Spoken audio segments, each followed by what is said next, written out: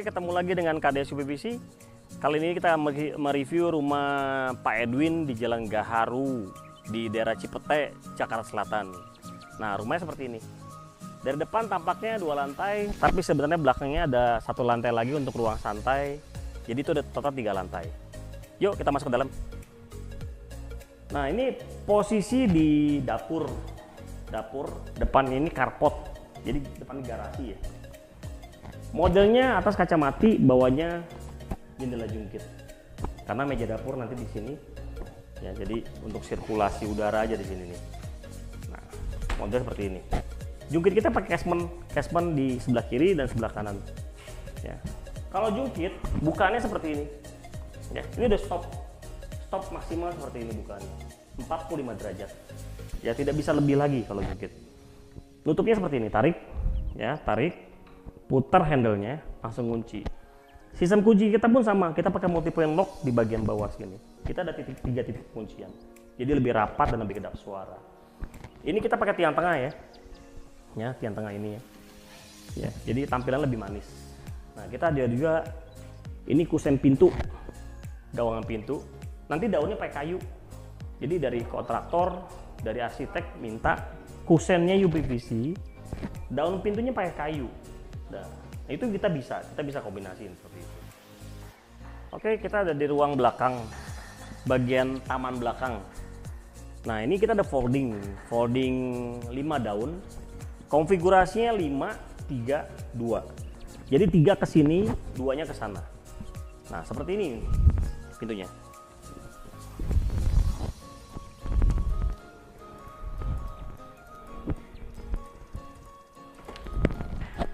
Nah, ini yang dua daun ya. Seperti ini. Nah, ini bukannya sangat luas sekali. Dibuka sangat full. Ini area ruang makan. Jadi sirkulasi udaranya sangat baik sekali. Cara nutupnya seperti apa? Kita tutupnya harus pakai daun yang dua daun dulu. Kita seperti biasa standar kita standar eh, dari KDS UBBC itu ada handle yang tarik seperti ini. Lalu ada handle ini, ini fungsi buat apa? Buat kunci. Nah, interlock board ya. Nah, yang tiga daun ini tinggal kita tarik aja. Ini sangat ringan sekali kok. Sangat ringan sekali. tarik lagi handle-nya ya handle tarik diputar nah ini langsung kunci jadi kita tidak perlu pakai flashboard bawah atas tidak perlu lagi nah karena kita sistem pakai multi point locking kuncinya harus ke atas. Putar anak kuncinya. Langsung kunci dia. Seperti ini. Dan pintu ini ini sistemnya nabok ya. Nabok. Jadi nabok itu uh, bagian luar pintu mentok sama keramik bagian luar. Jadi itu untuk mencegah kebocoran, lalu serangga masuk, debu masuk, dan lebih kedap suara jadi. Nah seperti ini. Nah.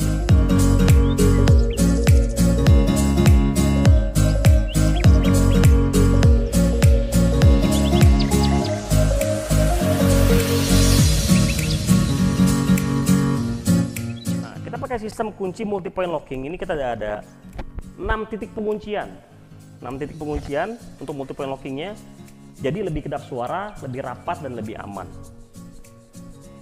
kuncinya seperti ini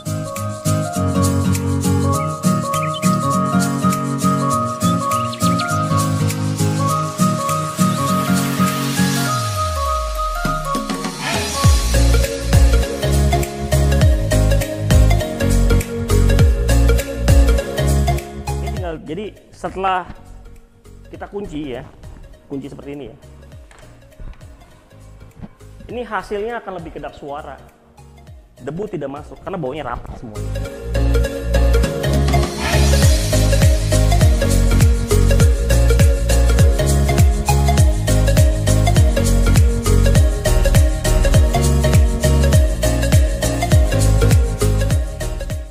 ini kita di posisi kamar lantai satu di kamar belakang. Nah ini kita ada sliding dua daun, lalu kanan dan kirinya ada kaca mati juga. Nah ini bukanya geser ke sana ya.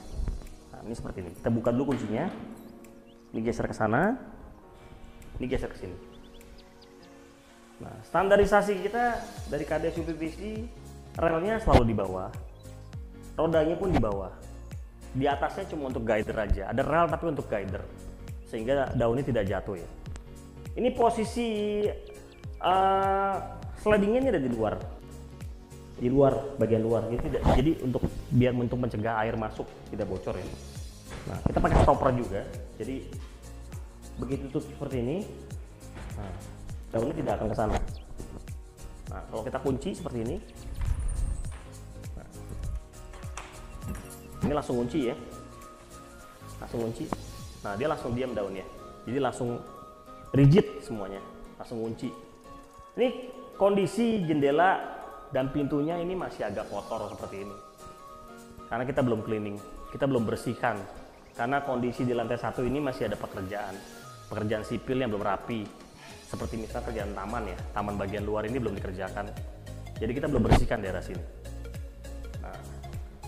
Kita bisa lihat kaca mati dan area sliding. Kita pakai joining. Seperti ini ya. Emang agak tebal cushionnya tapi ini lebih kuat jadinya. Lebih kuat.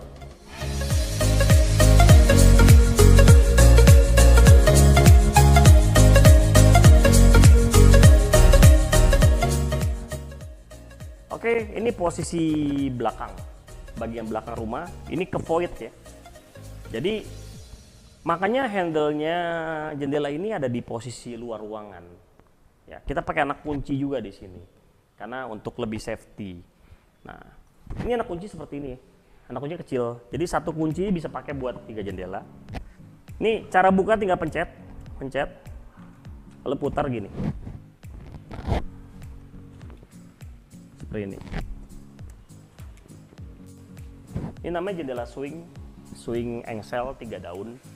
Nah kita pakai engsel semua lalu kita lengkapi juga dengan, dengan wimbrick ya atas bawah kita pakai wimbrick sistem kunci pun kita sama pakai multi point locking. Sampai sini sampai atas kita ada satu dua tiga empat. Empat titik penguncian jadi lebih aman lebih safety dan lebih kedap suara. Cara tutupnya seperti apa? Seperti ini. Nah, tinggal putar ini juga sama tinggal putar juga tinggal putar seperti ini ya. Nah kunci pakai ini anak kunci. Ya. Anak kunci gimana cara operasiannya seperti ini. Kita putar. Nah dia langsung kunci tidak bisa dibuka jadi lebih aman. Lebih safety untuk anak kecil jadi tidak nyebur ke sana.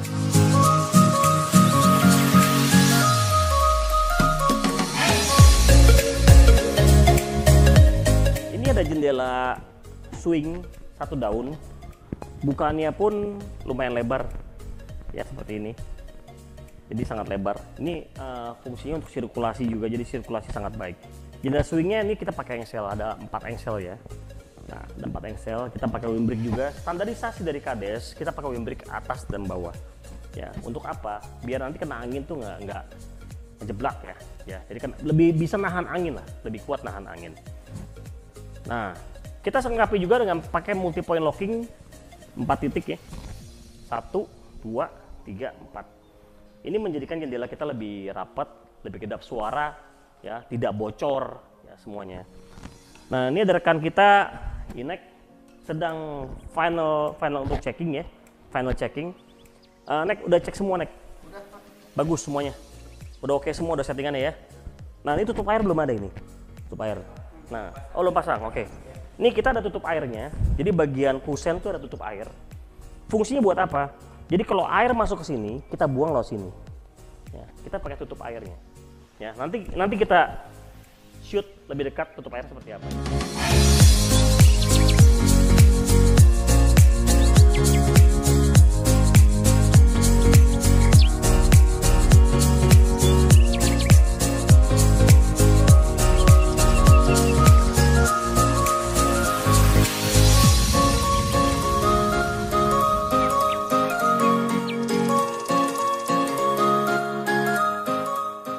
Dan untuk uh, jendela, untuk kamar mandi ya.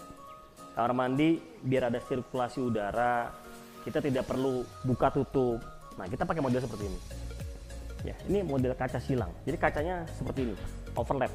tengahnya ada ruangan itu untuk sirkulasi udara ya, untuk sirkulasi udara ya, seperti ini ya seperti ini nah kita lengkapi juga dengan lubang air pakai tutup air juga fungsi buat apa bila ada air masuk di sini maka akan kebuang di sini jadi air tidak ngumpul di sini itu jadi tidak bocor itu merupakan standarisasi dari KDSU PVC harus pakai lubang air di daun jendela daun pintu ya di kusen harus pakai lubang air semua untuk mencegah kebocoran seperti itu. Jadi kaca silang seperti ini yang kita pakai biasa kaca es, ya kaca model es gini jadi kaca buram ya, jadi tidak kelihatan ke dalam. Ya. Kaca es pun cuma ada tebalnya cuma ada yang 5 mili, ya untuk 6 mili kita belum ada. Ya, jadi kita standar kita pakai yang 5 mili aja, karena jendelanya pun tidak terlalu. Sekarang kita ada di lantai dua. Ini rumah ini desainnya agak sedikit unik ya. Jadi bagian depan ini pakai warna UPVC warna hitam lalu bagian dalam dan belakang pakai warna putih jadi tampak depannya warna hitam ini ada pintu double swing dua daun kiri dan kanannya kaca mati jadi modelnya seperti ini. Ini kita pakai flashboard tapi flashboard masih flashboard manual ya. Tidak pakai interlock flashboard. Nah bukan seperti ini. Ini kita buat cleaning jadi bagian luarnya masih ada stiker stiker cons. Karena kita pakai profilnya merek cons. Lalu hardwarenya engsel casement kunci-kunci semua kita pakai merek Euroqueen. Ya. Cara nutupnya seperti apa? Seperti ini. Ya. ini ada flashboard manual. Jadi kita slot ke atas. Yang bagian bawah pun kita slot ke bawah. Seperti ini ya. Nah seperti ini. Kuncinya pun seperti ini. Seperti biasa standar dari KDSU PVC ini pakai kita pakai sistem kunci pakai multiple locking. Jadi kalau kunci itu harus ke atas. Handle ke atas. Lalu putar anak kuncinya. Nah dia langsung kunci jadi lebih aman karena kunci kita pakai semua total ada 5 titik penguncian jadi sampai atas semua nah sebelah sini ini ada pintu sliding satu daun warna putih nah cara bukanya seperti ini Nah, kita pakai rel sistem relnya rel rata lantai. Ya, rodanya ada di bawah. Kita pakai roda yang namanya roda heavy duty. Ya, jadi tidak roda di atas ya. Kita pakai roda di bawah. Relnya di bawah semuanya. Yuk kita masuk ke dalam. Nah sekarang kita ada di ruangan ruang baju, ruang wardrobe ya. Di kamar utama lantai dua. Ini pintu sliding. Yang tadi saya masuk nih di sini pintu slidingnya. Satu daun, lalu kita pakai rel atas ya ini cuma untuk guider aja rel utamanya ada di bawah kita pakai roda bawah dan kita pakai stopper seperti ini ya nah stopper seperti ini ya jadi jadi pintunya nggak akan bablas ke sana ya nah nutupnya seperti apa nutupnya nutupnya seperti ini aja ya geser seperti ini ya lalu langsung kunci putar anak kuncinya nah dia langsung kunci Sistem kita pakai sistem multi point locking juga. Lalu selain multi point locking ada sistem kunci cangkul modelnya. Jadi pin, uh, kuncinya itu langsung keluar seperti ini. Jadi lebih aman pintunya. Cara buka seperti apa? Sama seperti tutup. Ya, putar anak kuncinya, langsung geser. Geser pun ringan kok. Pakai satu jari pun bisa geser. Seperti ini ya. Nah, sangat sangat ringan sekali. Ya, sangat ringan sekali. Ada kacanya, ini kita pakai kaca 8 mili 8 mili polos jadi lumayan berat sebenarnya bebannya ya. nah ini ada kaca mati warna hitam ya jadi ini tampak bagian luar bagian depan karena rumah ini desainnya unik bagian depan pakai warna hitam dalam belakang pakai warna putih ya, ini kaca mati modelnya ya. kaca mati tiga lubang nah, ini kita lagi melakukan cleaning di lantai dua pembersihan semua lantai dua ya, kita kaca mati ini kita pakai joining Nah, ini nanti joining ini. Nah, joining ini jadi untuk merekatkan antara kusen satu dengan kusen satu lagi ya. Nah, kita skrup jadi lebih kuat.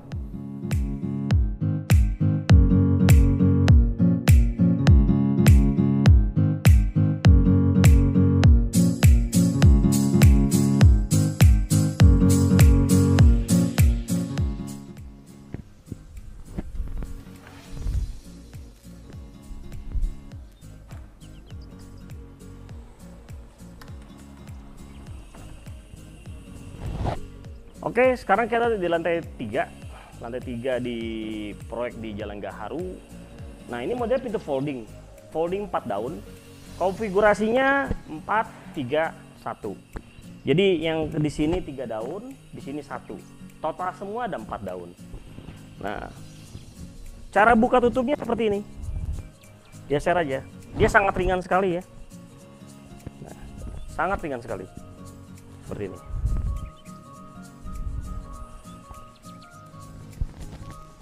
Nah, sistem kunci kita semuanya pakai sistem multi point locking, lalu pakai interlock fastball dan pakai engsel.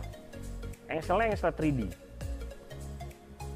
Engsel 3D di bagian samping, ya kiri kanan, dan juga ada engsel lagi, engsel foldingnya di bagian tengah sini ya. Tengah sini ada engsel folding. Atas pun kita pakai Euroqueen. Kita pakai cuma hanya satu merek, merek Euroqueen. Uh, pintu yang ini, tiga daun ini, ini bisa dilipat sampai 90 derajat seperti ini ya. Nah, lipat sampai 90 derajat seperti ini. Jadi bukaannya sangat luas, sangat lebar sekali. Yuk kita lihat ke dalam.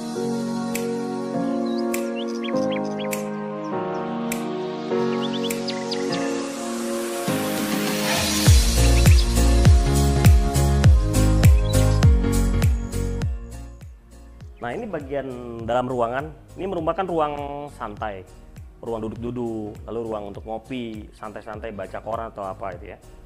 Ini sebelah sini pintu folding, sebelah sini pun ada pintu folding juga. Jadi begitu dibuka, sangat luas sekali. Nah ini tim KDS UPVC ada tim cleaning namanya. Jadi setelah selesai kita pasang semua, ya kita akan melakukan pembersihan seperti ini. Ya kita poles semuanya. Jadi konsumen akan terima barang dengan kondisi sangat baik. Nah, kita ada rekan Inek. Nah, ini namanya Mat Inan. Dipanggilnya Inek. Ini ada rekan Idrus. Ya, ini tim cleaning kita dari KDSU BBC yang tugasnya bagian cleaning, jadi bagian pembersih-bersihan semuanya. Ya. Nah, ini pintu folding. Nah, cara bukanya sama seperti yang sebelah sana. Nah, buka seperti ini ya. Ini lalu ini sama buka juga Nah, kita punya handle ini ya. Lalu ada handle ini. Fungsinya buat apa? Nah, langsung terbuka seperti ini. Handle ini fungsinya untuk narik. Kalau menutup, tarik seperti ini. Ya, langsung seperti ini. Kita buka ya. Nah, ini sama sana. Folding 4 daun, konfigurasi 4 3 1. Jadi tiga sebelah sini, satu sebelah sini. Ya, jadi bukannya sangat-sangat luas sekali.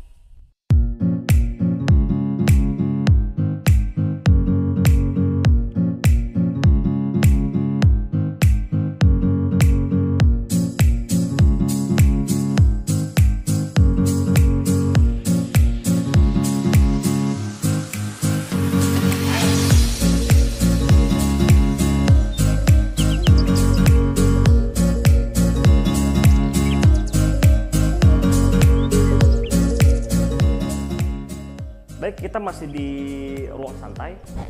Ruang santai ini ada jendela slide tiga daun. Nah, ini tiga daun, ada satu, dua, tiga.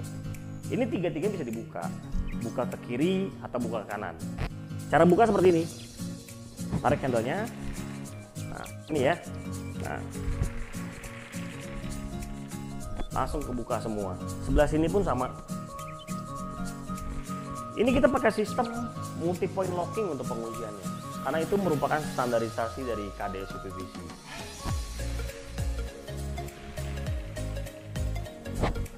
Seperti ini, jadi bukanya sangat luas. Jadi untuk ruang santai, sirkulasi udara pun enak. Ya, cara tutupnya seperti apa? Nah, ini tinggal tarik aja ya, tarik. Daun tengahnya otomatis ngikut, ya ini secara otomatis ya jadi daun yang ini ya ini otomatis ngikut jadi kita nggak perlu geser lagi. Tarik satu yang paling ujung udah ikut kegeser dia. Ini tutup ini pun sama. Tarik seperti ini. Nah. Daun tengahnya ikut mau buka sebelah sini pun bisa. Nah, seperti ini ya. Kita dorong. Sebelah sana pun bisa dibuka juga. Jadi bisa multifungsi arah bukaannya bisa buka kiri buka kanan. Nah seperti ini. Jadi sangat praktis sekali. Untuk sirkulasi udara pun sangat baik sekali. Kita pakai sliding dengan relnya ada tiga tiga track. Oke kita sudah review semua tipe jendela dan pintu di rumah Pak Edwin ini ya, yang lokasi di Jalan Gaharu di Cipete Jakarta Selatan.